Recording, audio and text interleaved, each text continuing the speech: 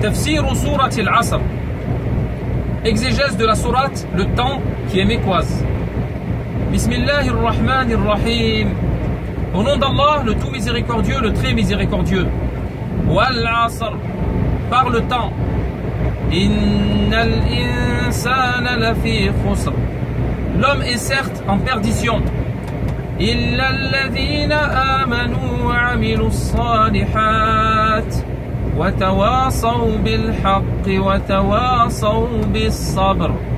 Sauf ceux qui croient et accomplissent les bonnes œuvres, s'enjoignent mutuellement la vérité et s'enjoignent mutuellement l'endurance. Allah le Très-Haut jure ici par le temps, qui englobe la nuit et le jour, moment où surviennent les actes des hommes, que l'humanité court à sa perte. Certes, la perte est faite de divers degrés, cette perte peut être absolue, comme celui qui perd ce bas monde et l'autre, ainsi que leur félicité et qui mérite le châtiment. Cette perte peut être aussi relative et concerner certains aspects en dehors d'autres. C'est pour cela que le Très-Haut a généralisé cette perte à toute l'humanité, à l'exception de ceux qui possèdent ces quatre caractéristiques. Premièrement, la foi en ce qu'Allah a ordonné de croire. Cependant, cette foi n'est rien sans la science, car elle est faite, car elle, car elle en fait partie intégrante.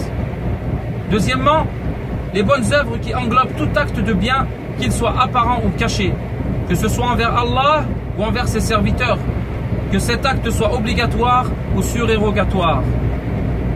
Troisièmement, la recommandation mutuelle de la droiture, qui est la foi et les bonnes œuvres. C'est-à-dire que les croyants doivent se recommander mutuellement cela et s'inciter en ce sens.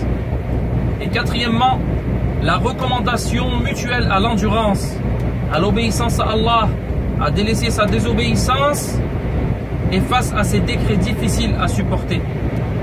L'homme se perfectionne avec les deux premières caractéristiques et perfectionne autrui avec les deux dernières. Celui qui arrive à réunir ces quatre caractéristiques obtiendra le salut et la grande réussite.